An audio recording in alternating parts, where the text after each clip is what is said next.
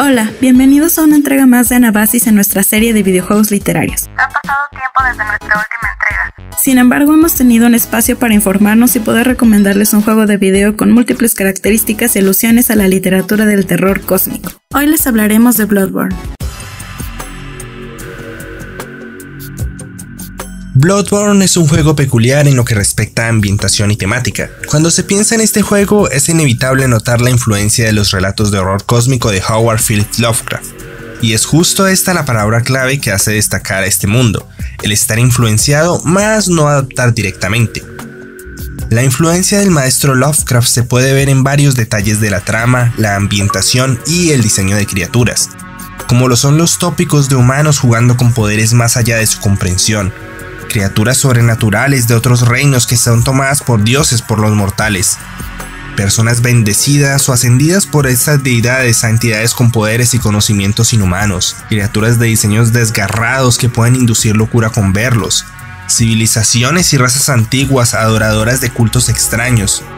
Y hacemos una mención especial a la aldea pesquera del DLC, que es un muy buen homenaje al relato de la sombra sobre Innsmouth y su temática de criaturas marinas.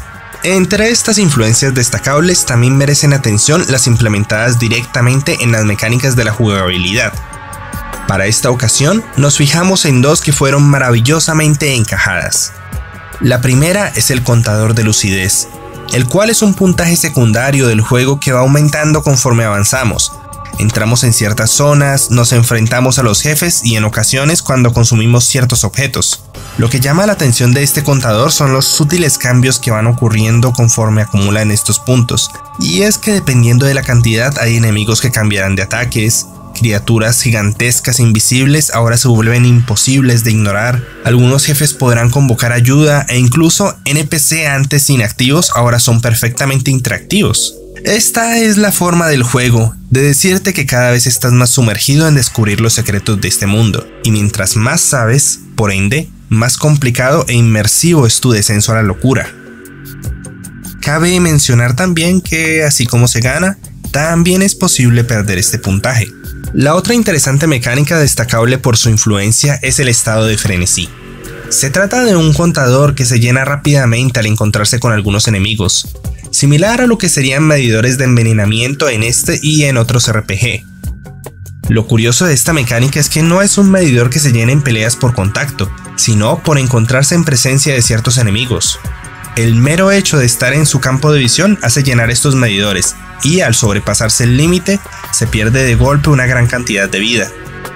Esto se debe a que nuestro personaje, y por ende nosotros, nos vemos expuestos a condiciones imposibles de procesar para el entendimiento humano, y sufre una suerte de explosión mental que causa grandes daños mientras se sigue expuesto.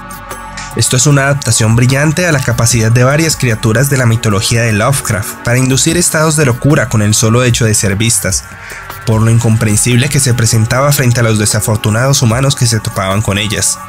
Si no es que de plano podrían morir de horror con las mayores expresiones de sufrimiento quedando marcadas en sus rostros.